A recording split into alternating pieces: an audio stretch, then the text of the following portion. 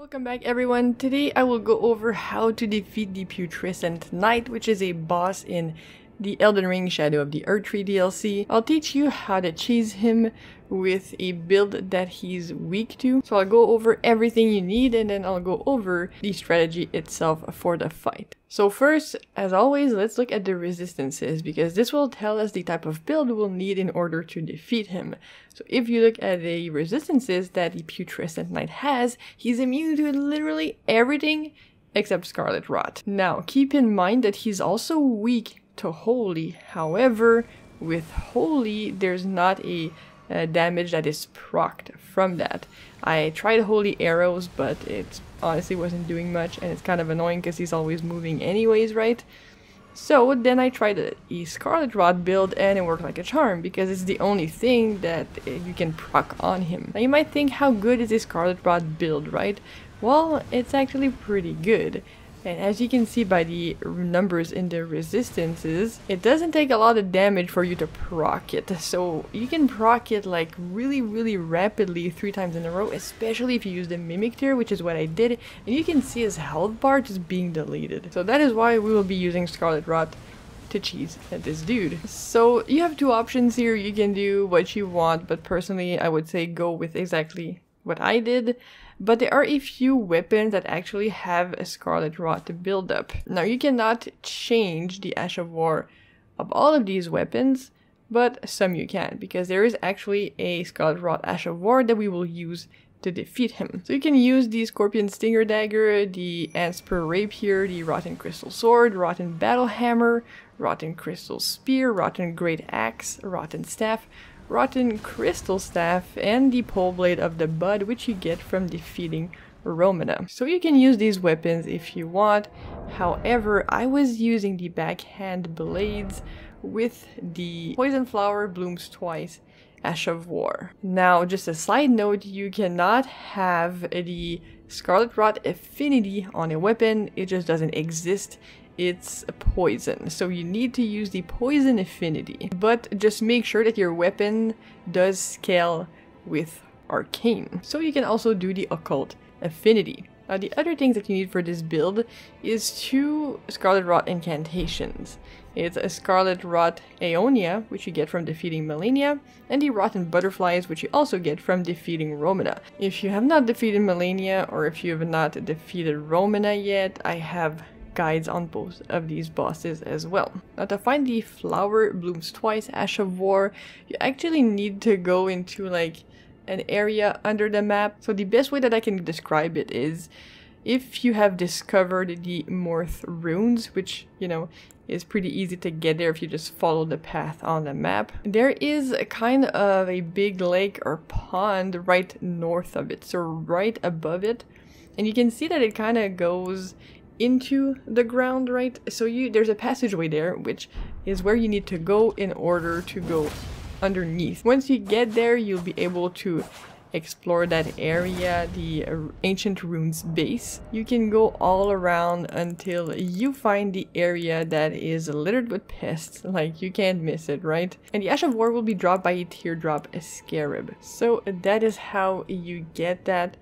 The next part that's important for this build are the talismans, of course. So there's a talisman that makes you stronger if Scarlet Rot poisoning is in the vicinity, so either it's you getting poisoned by Scarlet Rot or your opponent, and that is the Kindred of Rot's Exaltation Talisman. You want to put that on. You also want Millicent's Prosthesis because you will be using the backhand blades, and you can attack quickly with them so it boosts your power a lot. And uh, you want to use the Radagon icon. I mean it doesn't make like a massive difference to how quickly you can get the spells off but it's still you know pretty useful. Because the two spells we're going to be using are very very slow However, part of the strategy is having the Mimic Tear there, right? So they can do one of the incantations and you just wail on the enemy or use the Ash of War. I also use the Jumping Talisman because the Backhand Blades does, uh, the Jumping R2 does a lot of damage.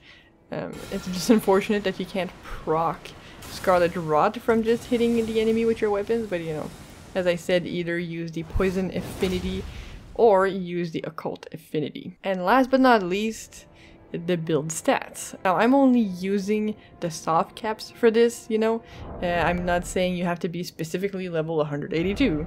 You can adapt this build to whatever level you are, but you know, I highly suggest hitting those soft caps at least. So first you want 60 vigor. Mind I put 30, you don't need a crap ton because you'll be using the Ash of War most of the time while your Mimic Tear will be using the spells themselves. Endurance uh, 35 and then of course the two damage types Dexterity and Arcane because the weapon will be using skills with dexterity, the backhand blades. If you're using another weapon that scales better with strength, then obviously uh, your damage, your 55 will be in strength and not dexterity and arcane is at 50 because that is specifically for the scarlet rot. Now the thing with the seal we'll be using to cast the incantations yes it does scale with arcane because it is the dragon communion seal. However i don't believe there is one specific seal that helps with scarlet rot build up specifically and this one does not even though it scales with arcane. So it's not exactly important which one you use but use the one that has the highest incant scaling value. And also make sure that all your weapons and that your seal are leveled up to the max, either plus 10 or plus 25, because that will increase your damage by a lot. The damage you do physically, the damage you do with the Ash of War, and the damage that the incantations do. It's very important that if you want to not have trouble with a boss or do the most amount of damage possible, everything needs to be leveled up to the max. Now let's look at the best armor you can wear to protect yourself from the Putrescent Knight's attacks. So he does Frostbite with his fire, right? And Frostbite is tied to the robustness value on your armor. If you look in the right hand column when you're looking through your armor, you can actually sort the armor by the resistant type and then you go down and you find the one that has the highest value in robustness because this will make it harder for the boss to proc frostbite on you. So that's it for the build and everything that you need to fight him. Now let's talk about his attacks and how to avoid them and the general strategy going into the fight. So this guy is kind of freaking annoying. It gets kind of hard to track when he gets off the horse and then he starts to do hits and then the horse comes in to hit you.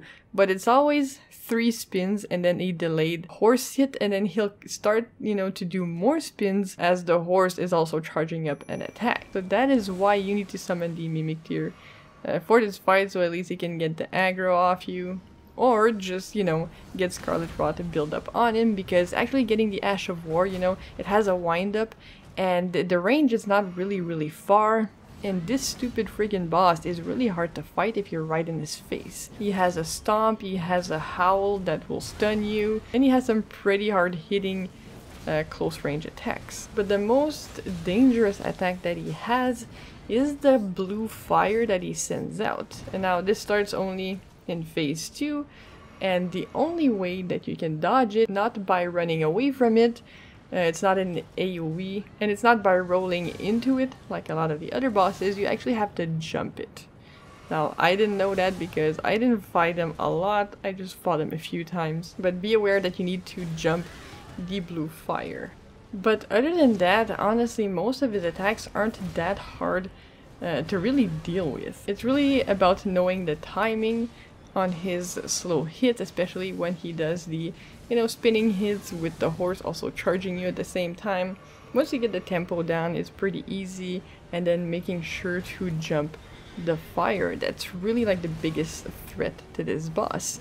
But as you can see from the fight that I actually won, it really wasn't long at all. It took me like two minutes, and his health bar just melted with the combination of uh, the Mimic Tear and myself using Scarlet Rot to build up. So you can either punish him uh, while the Mimic Tear has the aggro with the Ash of War or with Scarlet Aeonia, or you can punish him at the end of his attack strings as well with the Ash of War.